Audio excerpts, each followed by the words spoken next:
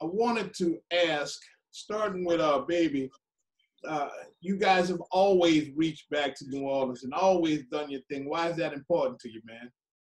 Just growing up, you know, growing up rough, but just unfortunately growing up and trying to help even at a young age. But we've been doing this since I was like 16, like really a long, like 30 plus years, just giving back, just because the way we grew up. So every as soon as I got a chance to do it, I ain't think twice about it. I never thought twice about it. So um, it mean a lot to me, bro, because I know the struggle.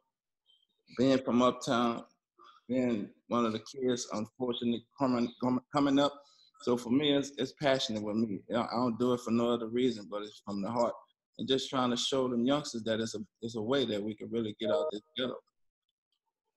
Slim, you guys uh, during this pandemic you know, a lot of folks have just been, you know, they shut themselves off. They basically said, look, I ain't doing nothing with nobody, not trying to do anything.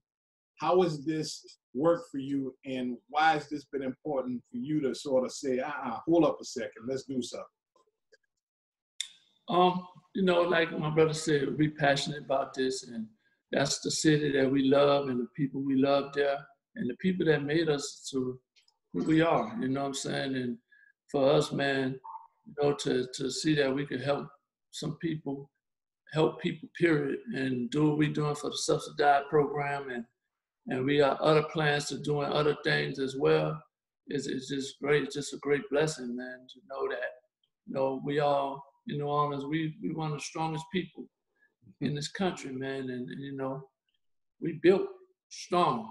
Mm-hmm. So to, to, to know that we're going through this and knowing that one, we will bounce back from this, man. You know, and we whatever part we could play in that, we're here to do it. You know. Uh, baby, the foundation's named for your parents, um, and, and, that's got to have a, a dear uh, meaning to you as well. Talk to us about that. Um, the Gladys and Johnny Foundation. That's man. That's my mom and my dad. It, you know, we lost our parents at a young age, so you know, um, that's something we wanted to start a foundation in their name, and we've been doing it like almost 30 years, approximately around 30 years, um, just giving back, doing a lot with the station, doing a lot in the city. Um, it's just passionate from us, but from heart, really from heart. Just growing up how we grew up, just being uptown with the struggle. Uh, really do it from heart. There's no other words for it. Vernon, um, the effort to put together these various different giveaways has got to have its challenges. I mean, from the uh, the grocery gift cards to now doing the rent thing, how much of a challenge has that been putting that all together? Um, it's it's it's it's a challenge, but it's one of those things that when you know you're helping people, as um, the Williams brothers has always wanted to do, it's something you don't really think about challenge. You just want to get it done. You want to get help into people's hands. You want them to feel it and see it as fast as possible.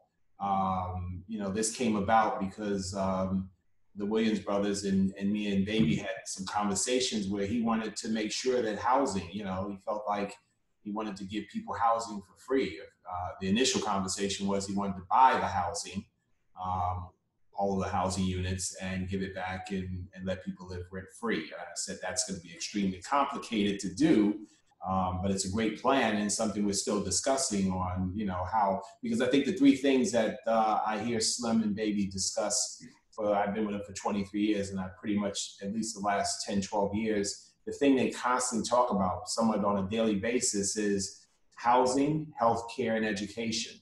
Those are the three areas. So this is part of the housing portion. That's a bigger picture, of course. And the healthcare, we've done what we could do um, with the turkey giveaway, of course, with Osh Care and Stanford each year. But uh, both Slim and Baby have some other plans to help with healthcare more. And the current discussions are really centered around getting kids back into school um, and giving them some technology, better Wi Fi, um, better communication systems so that they can really excel into the new technology age. So that's the things I'm talking with um, both of them about. Um, and like I said, this is not something that's just a, a once in a time thing. They, we talk about these things often. Um, it's just getting them working and getting them in, into action. And the mayor's office, uh, Mayor Cantrell and her administration, has been extremely, extremely helpful. Um, they've been positive. They've been there uh, with Slim and Baby on the phone every day. They've been talking. They've been brainstorming. Um, and I think we're going to see quite a few more things to come out of this in a very positive manner to help people who really need help. All right, there we go. Baby Slim, love you guys. Thank you so much. No, we appreciate you, bro. Thank you so much for everything you do, right? All right, Take care. thank you very Bye-bye. much.